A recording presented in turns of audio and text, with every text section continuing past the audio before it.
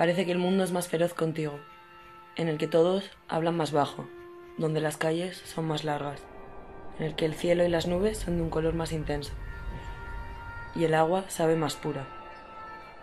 Cuando tus manos me tocan, mi sangre se vuelve más roja, más sana.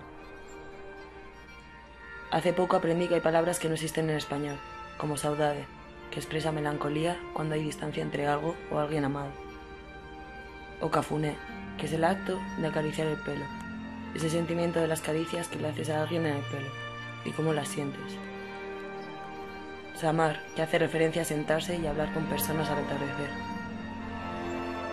Como estas palabras, expresarme me resulta difícil, pero lo que me diferencia de ellas es mi timidez, mi miedo a expresarme con total libertad por lo que pasará.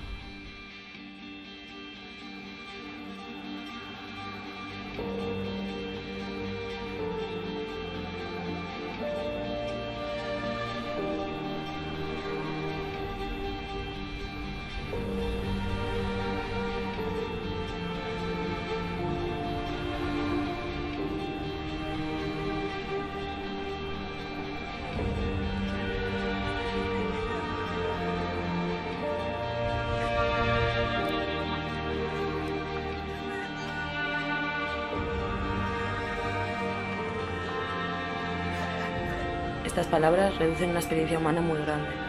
Lo que me hace diferente de estas palabras es que yo tampoco soy capaz de reducir nuestra historia en este texto, pero intentaré hacerlo para el futuro, ya que es incierto.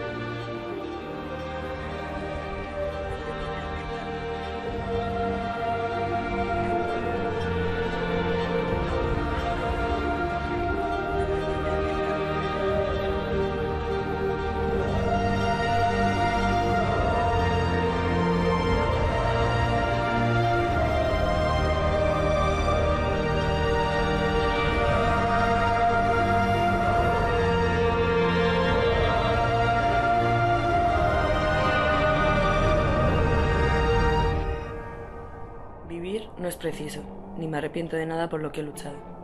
No existe infierno ni paraíso, tan solo el cielo raso y una fuerte lluvia de verano.